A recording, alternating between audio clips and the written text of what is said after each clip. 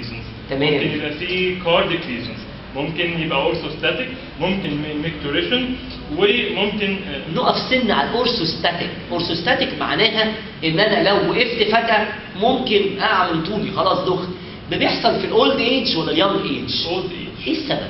يبقى في baroreceptor dysfunction تمام. يعني ال baroreceptors بعد old age ال age بيعمل degeneration لكل ال components بتاعته اللي هي sympathetic tone sympathetic tone تمام. ف آه، هيقلل ال baroreceptor activity يعمل baroreceptor dysfunction فال baroreceptors ما تبقاش قادرة إن هي تعمل الوظيفة بتاعتها أول ما ال change في ال position يحصل تمام. هختار حاجة مهمة هنسيبنا من ال cough وال micturition والاسباب الكتيرة دي ودي أسباب rare شوية.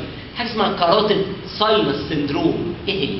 ال carotid sinus syndrome المقصود بيه إن هو hypersensitivity of ال carotid sinus baroreceptors تمام. يعني ال carotid sinus baroreceptors حساسة جدا. تمام. يعني واحد مثلا بيقفل الزرار بشكل ضيق قوي إيه ده؟ tight collar. tight collar تمام. أو في ال shaving بيعدي بضغطة جامدة على ال carotid sinus ال baroreceptors تشتغل جامد جدا جدا جدا.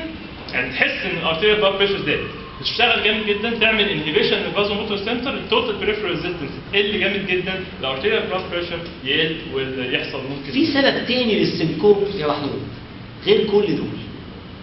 آه، ما هو إحنا عندنا إحنا صح postural و cough و micturition و carotid كلها أسباب جميلة.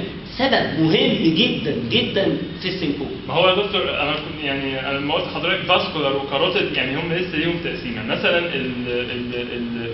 ال cardiac بينقسم إن هو مثلا Adams-Stokes syndrome صح برافو عليك. ventricular fibrillation صح. هقف وقفك سنه Adams-Stokes syndrome كان في أنهي arrhythmia؟ يعني type of arrhythmia في ال third degree of AV nodal block صح. اشرحها لي.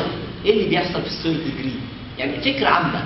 اللي بيحصل في ال third degree بيبقى يعني في آه، عدم تواصل تام بين برافو. ال sinoatrial node وال ventricle اللي هي ال AV dissociation صح. فال ال atrium ال sinoatrial node ما بتوصلش وال ventricle شغال بال idioventricular rhythm بتاعه. اللي هو تمام. بطيء جدا جدا.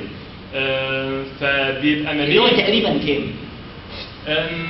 تقريبا 15 ل 20 هو 30 يعني 25 30 beat per minute. هو تمام. قايلين هو أحيانا بيوصل ل 15 أحيانا. يعني هو اشتغل بال 30 صح برافو عليك. فده يعمل syncope. طيب في سؤال مهم عايزين نركز عليه في ال baroreceptors حتة رخمة مضايقه كل الطلبة. type A and type B atrial stretch receptors عارفهم؟ يعني ال type A atrial receptors high pressure receptors تمام. وال atrium بطبيعة الحال ال pressure ما بيزيدش فيه آه، إلا أساسا في ال atrial systole بيوصل لكام تقريبا؟ بيوصل لكام؟ ال atrial يعني ال atrial pressure آخره كام؟ تقريبا آه، 20 ملي متر أو 15 لا هو خمسة. 5 5 ملم 5 ملم متر بيبقى من 0 ل 2 والناحية الثانية 0 ل 5 ده آخره 5 بدليل ال ventricle لما بيملى من ال atrium لازم يوصل ل zero لا في الآيزو آه، ما volumetric. relaxation كده كلام جميل صح. هسألك انت قلت فعلا ده pressure وده volume مش في طبعا دي في آه. series في الموضوع. بس أنا عايز ليه سألتك السؤال ده؟ عشان أقول لنقطة مهمة جدا. إيه هو ال Bainbridge reflex ال Bainbridge reflex ده هو ال involved بيه هو ال type B receptor تمام. لما يبقى فيه increase venous return تمام. اللي بيحصل stimulation لل type B atrial receptors type B atrial receptors بشكل سريع momentarily بيروح معلي ال heart rate تمام إزاي؟ بستيميليشن للفازوموتور سنتر وانهبيشن للكاردياك صح برافو عليك. صح. في نفس الوقت ده إحنا كده بنقول إن هو في increase venous return ال increase venous return ده بيبقى في ال right atrium يروح على ال right ventricle يعملوا pumping وده في pressure overload يحصل بامبنج للليفت اتريوم للليفت فنتركل يروح مزود لي ال end diastolic volume يبقى ال cardiac output ال stroke volume الجايه بتبقى قويه تمام. القوة بتاعتها دي بتبقى مزودة لي ال cardiac output ومزودة لي ال arterial blood pressure تمام. زيادة ال arterial blood pressure دي بتروح عاملة stimulation لل baroreceptors تخلي ال heart rate يقل. زي كل. صح. كل ده بيحصل في خلال ثانية واحدة. فكأن الواحد كل ما ياخد deep inspiration يزود ال venous return جامد يعلى فجأة ال heart rate بعدين يروح قال. برافو يا محمود. ودايما بما إن قاعدة الشيء بالشيء يذكر طالما ذكرنا reflex Bain إيه اللي وراها Bezold-Jarisch reflex إيه هو؟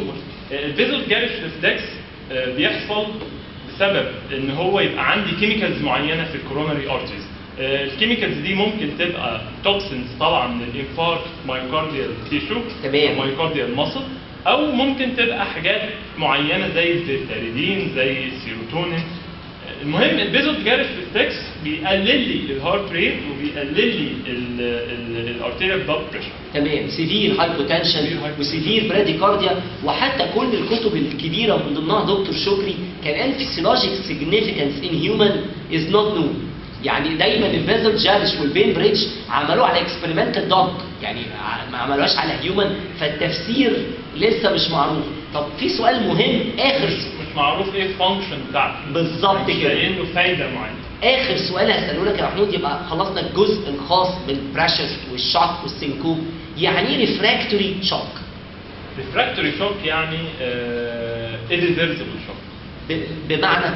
بمعنى إنه ال compensatory mechanisms اشتغلت جامد جدا جدا لحد ما حصل لها اكسهوشن هو refractory to treatment صح؟ resistant to treatment يعني أنا جيت اديلك علاج آه يعني حصل يعني هو أنا سبته كتير ما آه. لحقتوش. فال compensatory mechanisms شغاله شغاله لحد ما حصل لها اكسهوشن فده أنا جاي اعمل له دلوقتي treatment ما بيستجيبش طبعا في النهاية كنت عايز أقول لكل الناس اللي سامعانا آخر حتة سؤال النظري اللي في الجزئية دي طبعا مهمه جدا. بيتسأل على ال baroreceptor reflex طبعا baroreceptor resetting بيتسأل عليها.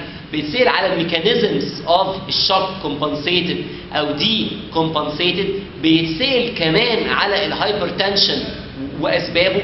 كل دي نقاط مهمة جدا في النظري. شكرا.